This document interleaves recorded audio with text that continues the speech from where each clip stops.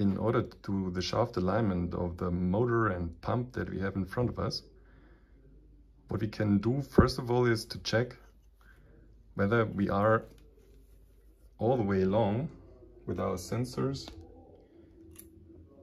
in the field on the upper right side. So we see that the laser is okay still on the far side on my side. And when I move all the way along to the other side,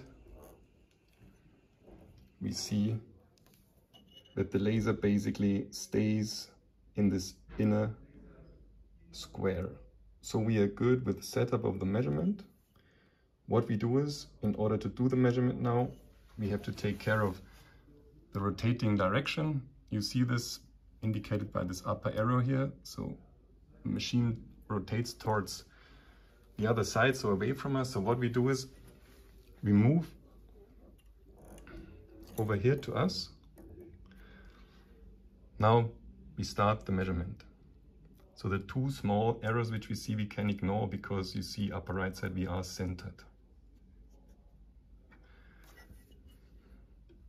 See I turn the shaft about until the middle. You see that the red has already turned into green, so we would be good already, but we continue a bit further with the rotation to the far side.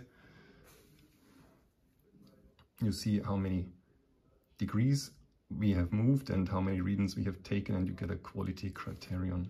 So we stop the measurement here.